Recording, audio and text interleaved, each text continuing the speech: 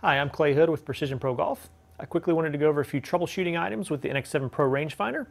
The first issue we see are the uh, modes, yards or meters. Um, obviously, if the product's in the wrong mode based on what you're trying to measurement, if you're in, if you're trying to measure in yards and the product's in meters, you're going to have issues with accuracy. So you want to look through the display. You want to see if there's a M for meters or a YD for yards.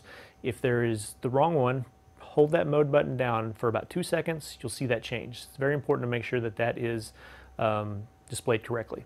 Secondly is slope or non-slope versions. So M1 is non-slope, M2 is our slope version. That non-slope version is tournament legal. Our M2, our slope version, is not tournament legal. To change those, you just press the mode button one time. Uh, very important if you're playing in a tournament not to turn that on. That could cause you an issue. Um, always look through there and make sure that that's, that's, the, um, that's the case. Um, Next with the NX7 Pro rangefinder, one thing we see, we've made this product nice and compact. It's easy to use, easy to store. One issue with that though is we can see people get their kind of their finger around the front of the rangefinder there. If that happens, that kind of blocks the display, can cause issues with accuracy. So when you're using this, make sure you keep your hands back on the product like this.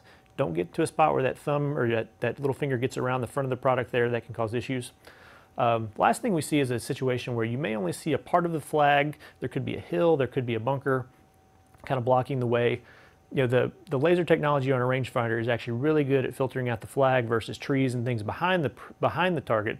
Um, and what that, with that, we see that if there's like a hill in the way or there's kind of a bunker in the way and you can only see a little bit of the flag, it could be a little tough to pick up the flag because, you know, it's, it's hitting that hill or it's hitting whatever else you see. So in that case, you may have to kind of step on the cart. You may have to move side somewhere where you can get a little bit more of the flag. Makes it much easier to pick up that target.